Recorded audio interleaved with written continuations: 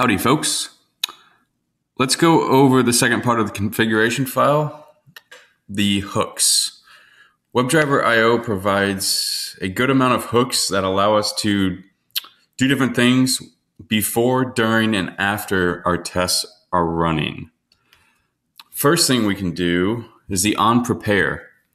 The on prepare hook gets executed pretty much before everything. Um, this is a good place to to maybe start up um, browser drivers. Like if you want to, if you're dynamically starting drivers like Chrome driver or Gecko driver, the on prepare hook is where you'd want to set that up. You have access to the config data and all the capabilities.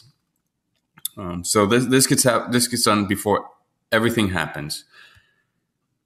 Uh, before session, this gets ran before a new browser session starts.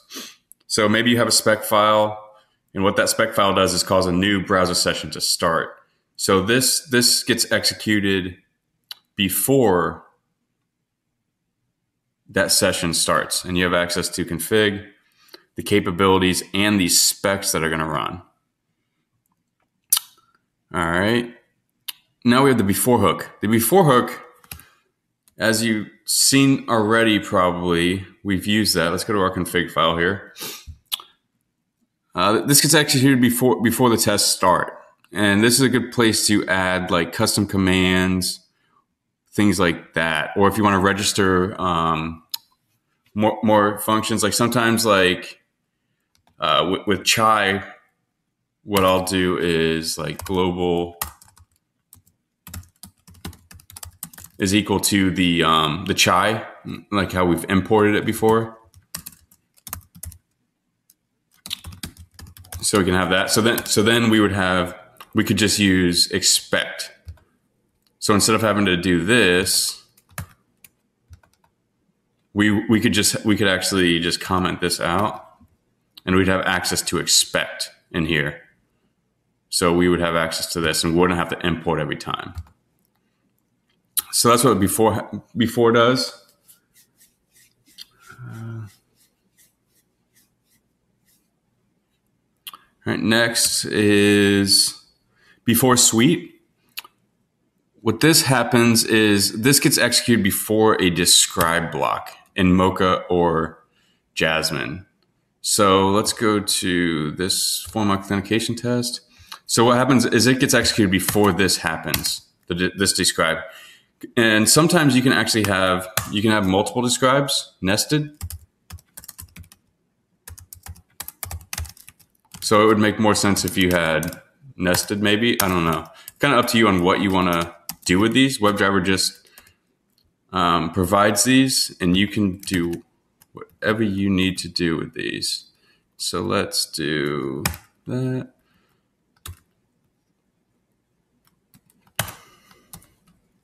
So now we just have a nested describe block. So, so that hook would get executed before here and before here.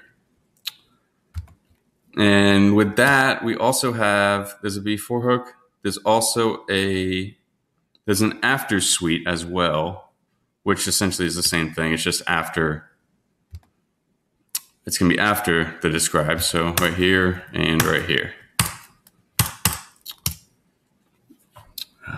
Let's see. So, got that. You have access to what suite it is. Then you have a before hook and an after hook. What the before hook and after hook does is those gets executed before any of, of these, like the before each or the before. You've seen before, we've had the before.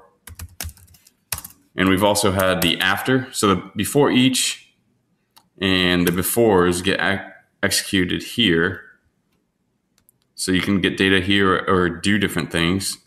And then you have the after each as well, which would be the after hook. I'm not sure exactly what you want to do in there. It's, it's going to be up to you and what your needs are. Do that. Uh, then you have before test and after test. So the before test is going to be ran before the it. So th- this this will get executed or yeah, the before test here gets executed before the actual test happens. So before the it is executed, and you have access to what test that is. Next, you have the before command and after command.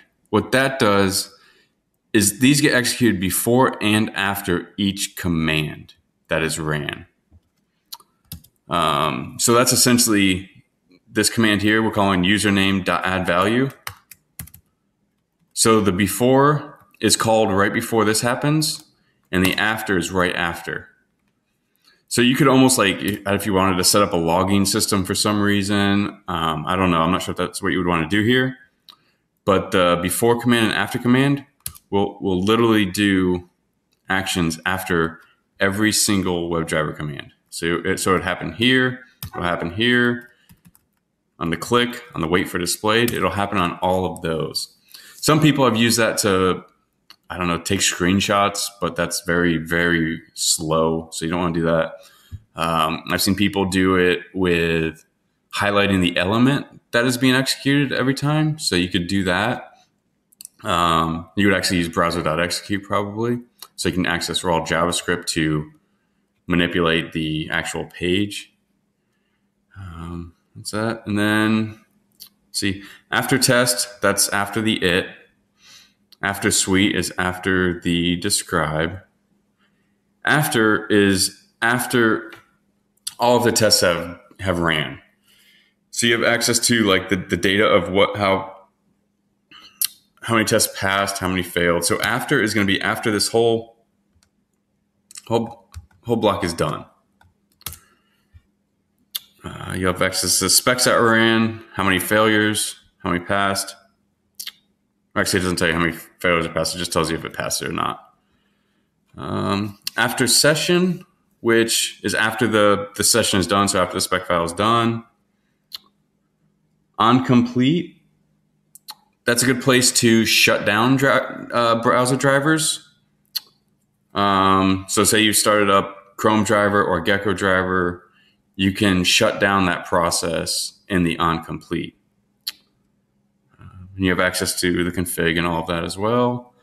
On error, this gets happen on any error. So you can maybe take a screenshot, like the docs say exactly here. Take a screenshot. And that's basically it. Then you have some Cucumber specific hooks. Uh, what I went over were mainly Jasmine and Mocha. I'm not going to go over the Cucumber specific, but you can see what they have here.